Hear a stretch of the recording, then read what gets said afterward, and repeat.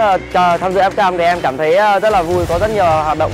Cảm thấy là buổi Fcam này rất là vui và mọi người ờ, chơi với nhau rất là sôi động.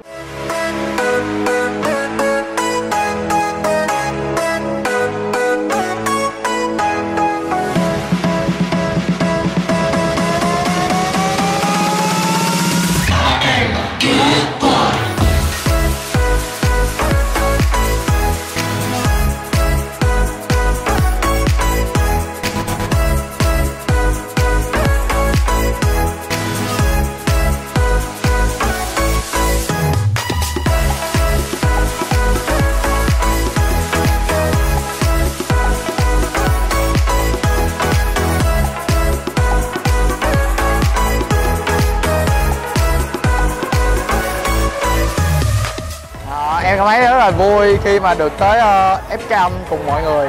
À, ở đây thật tuyệt vời mọi người cũng uh, cùng nhau hoạt động cùng nhau vui chơi. Và em cảm thấy rất là vui và rất sảng khoái. Rất, rất vui. vui nhưng mà cũng rất mệt. Rất